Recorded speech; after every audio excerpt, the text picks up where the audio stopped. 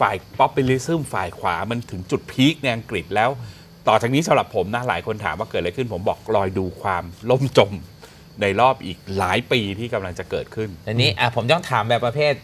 บ้านๆหน่อยแล้วประเทศไทยจะได้รับผลกระทบอะไรจากการที่อังกฤษแย่ไม่มีมากไม่มีไม่ยังไม่มีอะอาจไรจะมากมีในแง่ค่าเงินไหมมันจะปรับอ๋อค่าเงินไหในอังกฤษใช่ไหมันลงแน่นอน ปอนด์นี้ได้รับผลกระทบแน่นเด็อกนไทยก็จะได้ช้อปปิ้งตอนนี้ถูกลงล่าสุดเนี่ยเท่าที่ดูก็คืออ่า บรรดาราคาสังหาริมทรัพย์ก็เริ่มลงละนะฮะคือความความที่อังกฤษจะเป็น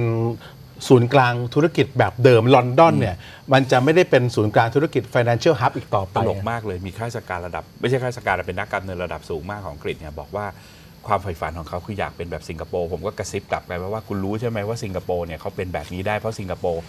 มี access สู่ตลาดคนอื่นตลอดเวลา อ่าอืมซึ่งยูเนี่ยอยู่กับ EU มี access ตลาดคนอื่นอยู่แล้ว ใช่ การที่ยูออกไปเนี่ยยูกำลังไม่ได้เป็นสิงคโปร์นะอืม เขาก็อึ้งนิดหนึ่งคือมันเหมือนกับว่าเขาอยากเป็นออฟชอเกร์มแบบเต็มเกมที่พอะไรนันเงี้ยเนี้ยมันเหมือนเกมพนันไง อืม คือช่วงที่แล้วคุณสร้างตัวเองจนกลายเป็นหนึ่งในศูนย์กลางสำคัญของยุโรป ใช่ คุณคิดว่าคุณจะกลับมาเปิดกิจการตัวเองไหม อ่า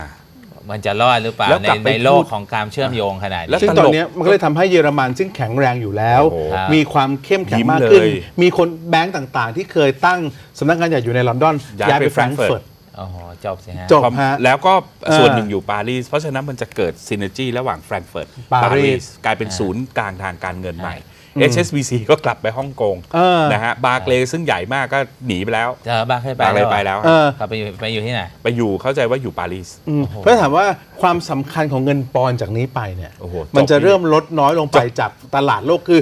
อังกฤษกลายเป็นแค่ประเทศเล็ก ๆ ประเทศเดียวไงเมื่อเทียบกับสหรัฐอเมริกาที่ก็มีดอลลาร์ขนาดใหญ่ EU bloc อ่า ที่มันมีกี่ประเทศ อย่าลืมนะว่าก่อนหน้านี้เนี่ยอังกฤษคุณอยู่ได้เพราะว่าคุณอาศัยการ access เข้าตลาดยูโรไม่ว่าคุณจะใช้70%นะเออรายได้ทั้งหมดมาจากขายให้ยุโรปเนี่ยแล้วมันเป็น supply chain ที่อังกฤษได้ value เพิ่มมากกว่าด้วย ความหมายก็คือเป็นความสัมพันธ์ที่อังกฤษได้ประโยชน์จาก EU ล้วน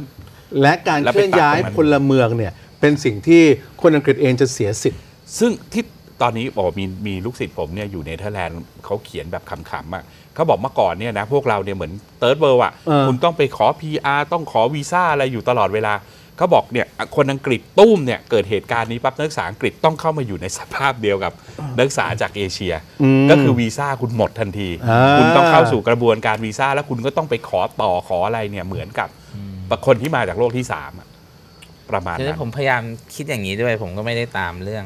จาวิโรจน์กับเก๋เนี่ยคิดยังไงว่าในในอนาคต 10 ปีข้างหน้าเนี่ยการเมืองอังกฤษมันจะกลายเป็นเรื่องอะไร